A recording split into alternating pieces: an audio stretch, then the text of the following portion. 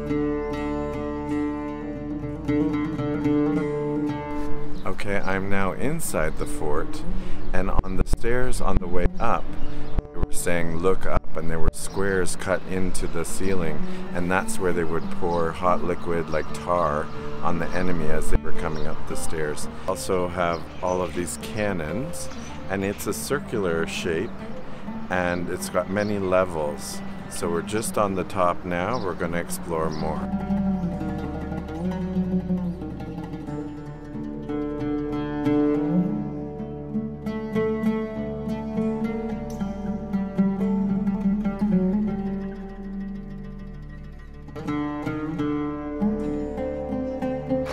Okay, as I mentioned before, there's all of these squares on the roof that they could drop the hot tar, cannonballs, and even rocks on the enemies below that are coming up the stairs on the different levels below us here.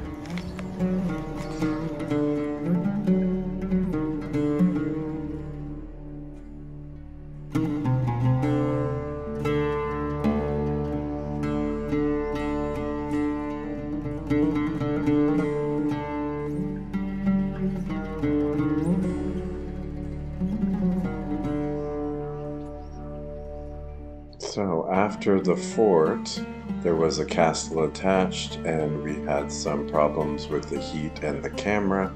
So we are using photos to show what was in the castle. It was mostly rooms filled with carpets and cushions. There was an exhibition with Omani paintings,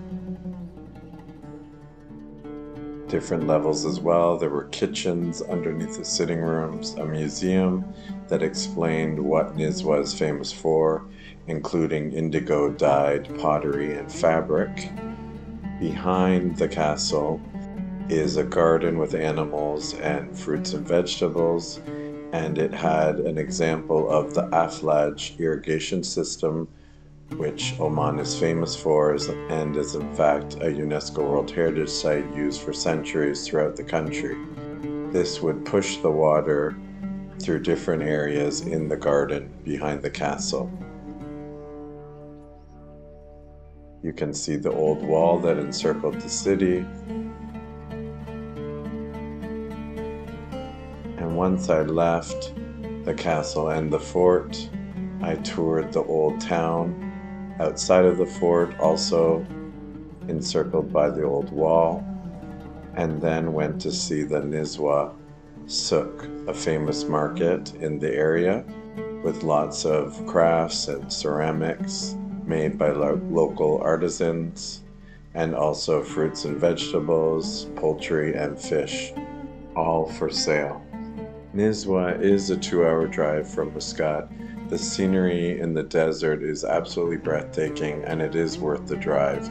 It was a very hot day, but there were beautiful things to see and there's lots more to see in the area.